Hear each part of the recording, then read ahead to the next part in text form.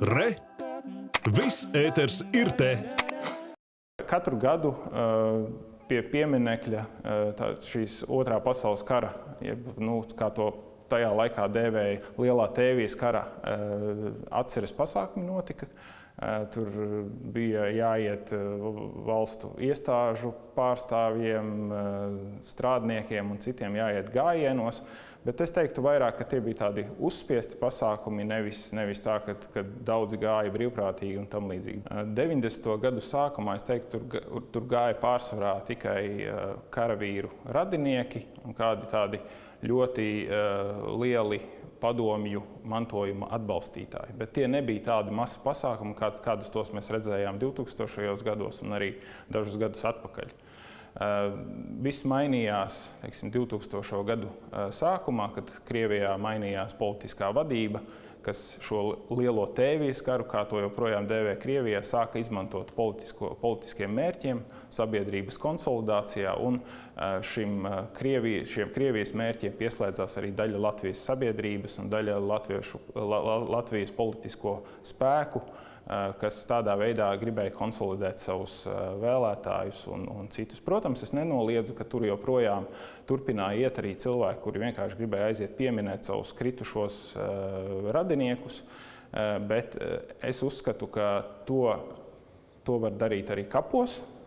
Un, un tas joprojām nav aizliegts. Es domāju, šī pieminekļa, teiksim, padomju pieminekļu demontāžas procesā mums būtu jāmēģina un jāturpina skaidrot eh, šai, šai Latvijas sabiedrības daļai, kuru joprojām grib pieminēt, nevis teiksim, propagandēt un, un, un, un tam līdzīgi, ka viņiem joprojām tas ir iespējams eh, kapos.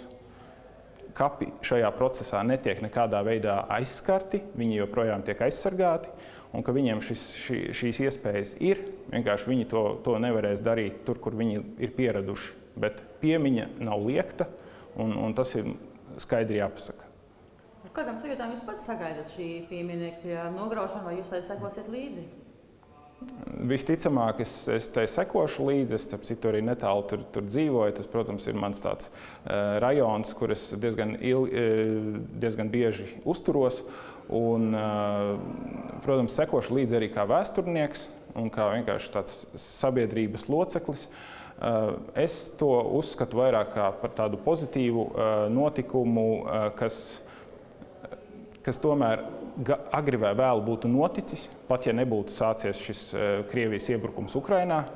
Jo sabiedrība agri vai vēlu nonāktu līdz, līdz, līdz šiem jautājumiem, jo galu galā e, nezinu, vai Rīgas šādā dominējošā vietā, pārdaugavā, nu, kas, kas faktiski ir nu, ļoti, ļoti centrāls objekts, var atrasties tāds objekts, kas slavina armiju, kas, kas uh, okupēja Latviju. Uh, pēc eh, otrā pasaules kara beigās.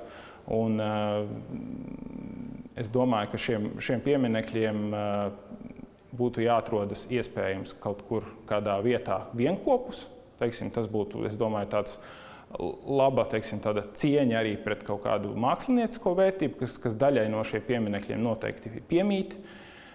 Bet sabiedrī, sabiedriskajās vietās, pilsētu centros, es domāju, šādiem pieminekļiem nav vietas. Kā jums šķiet, vai cilvēkam tas bija svarīgs, kas pulcējās katru gadu tur 9. maijā, vai viņi tagad nemeklēs kādu citu pieminiektu, kur pulcēties? Tas ir, tas ir labs jautājums. Es domāju, ka pašvaldībām, kas, kas par, par šiem pieminekļiem atbild, būtu jādomā par, šī, par šīm lietām. Protams, Rīgā, Rīgā skaidrs, ka visi, visi gribēja nākt pie centrālā pieminekļa. Protams, ka būs mēģinājumi. Es domāju, ka kaut kāda iekšējā, iekšējā organizēšanās šajās grupās, eh, ko tālāk darīt. Protams, ka tas būs, bet, eh, bet eh, es domāju, ka nu, tas, tas varbūt nenotiks tik masveidīgi, jo tomēr šis piemineklis droši vien, ka un tam visam eh, klāt esošā šī nu, teiksim, tā, eh, propaganda un tam līdzīgi ir, ir tas, kas ļoti piesaistīja nu, daudzus, daudzus šos apmeklētājus. Tā kā es domāju, ka tie, kas gribēs tiešām turpināt pieminēt, viņiem nebūs problēma to darīt vai nu brāļu kapos, vai, vai, vai citos kapos, kas Latvijā atrodas.